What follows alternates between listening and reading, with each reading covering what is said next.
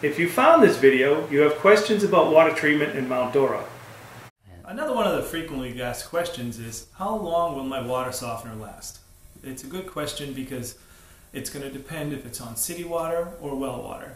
If it's on city water, it's going to last a, a lot longer. Um, longevity should be somewhere between 15 and 20 years.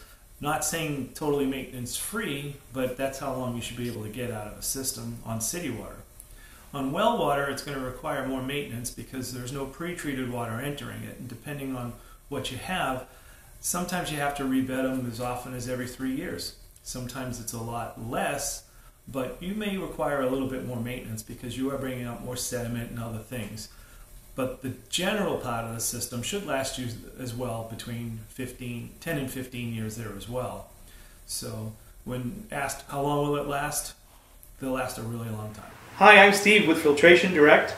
We are the only Angie's List Super Service Award recipient in the state of Florida. We'd like to thank you for visiting us, and if you have any questions, you can go to our website or give us a call. Thank you.